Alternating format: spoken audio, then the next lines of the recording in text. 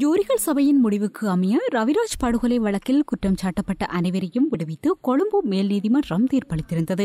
குற்றம் சாட்டப்பட்டவர்கள் பயங்கரவாத தடை சட்டத்தின் கீழேயே கைது செய்யப்பட்டு தடுத்து வைக்கப்பட்டு விசாரிக்கப்பட்ட நிலையில் தீர்ப்பை ஜூரிகள் தீர்மானிக்க முடியாது என்று அந்த மனுவில் கூறப்பட்டுள்ளது. எனவே ஜூரிகள் இன்று இந்த வழக்கை விசாரிக்குமாறு மேல்முறையீட்டு நீதிமன்றம் உத்தரவிட வேண்டும் என்றும் இந்த மனுவில் கோரப்பட்டுள்ளது.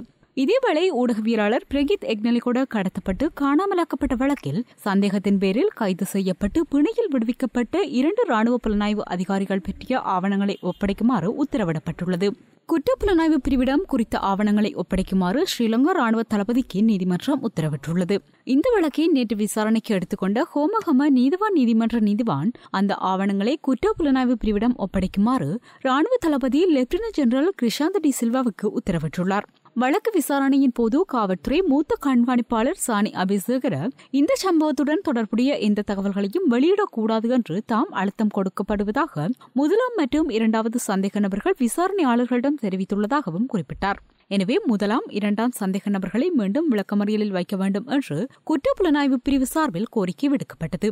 இதனையடுத்து சந்தேக நபர்களை விசாரணைக்கு முழுமையாக ஒத்துழைக்குமாறு உத்தரவிட்ட நீதிவான் வழக்கை எதிர்வரும் இருபத்தி இரண்டாம் தேதிக்கு ஒத்திவைத்தார்.